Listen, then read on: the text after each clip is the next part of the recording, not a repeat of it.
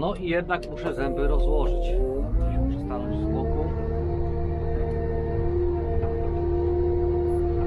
Nie wszędzie będę używał tych zębów, ale miejscówkami, miejscami.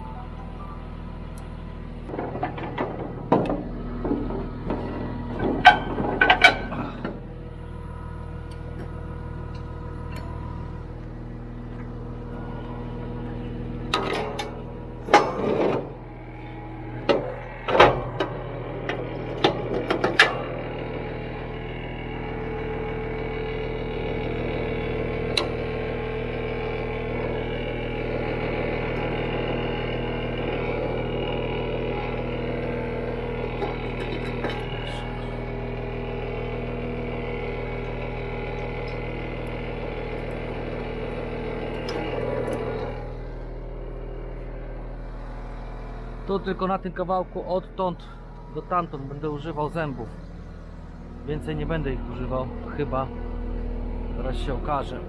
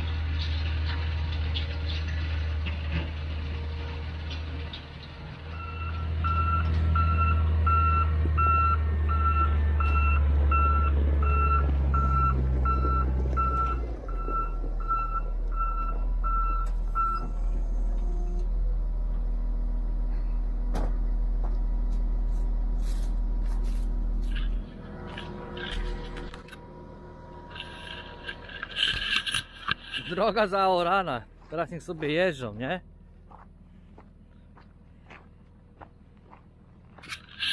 Nie ma co dramatyzować. Będzie zajebiście.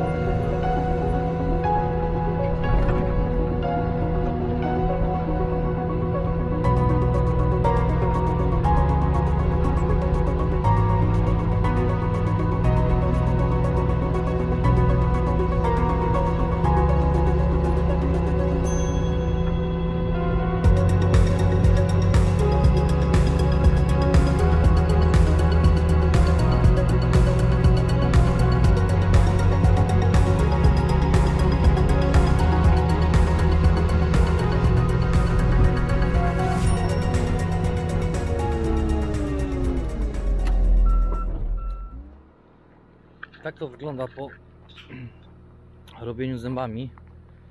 Pamiętajcie o tym, że jak zrobicie zębami drogę, to później trzeba ją parę razy przełożyć. No nie tak, że tylko raz, dwa i już przełożona droga i to tyle.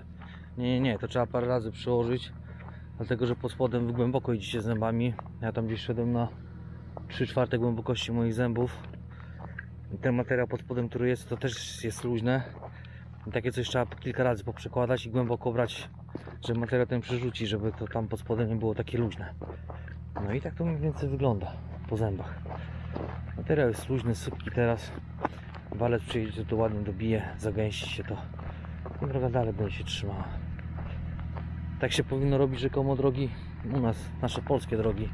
Nasze polskie, wszystkie drogi tak się powinno rzekomo robić.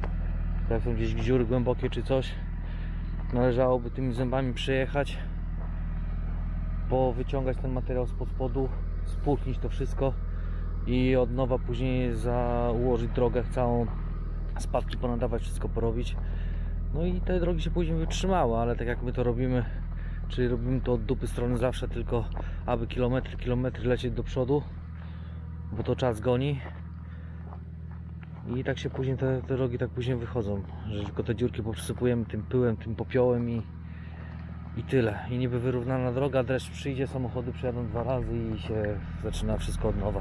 Dziury wychodzić te inne pierdoły. I nikt mi nie powie, że tak nie jest, bo tak po prostu jest. Dobra, dzięki za oglądanie, pozdrawiam serdecznie.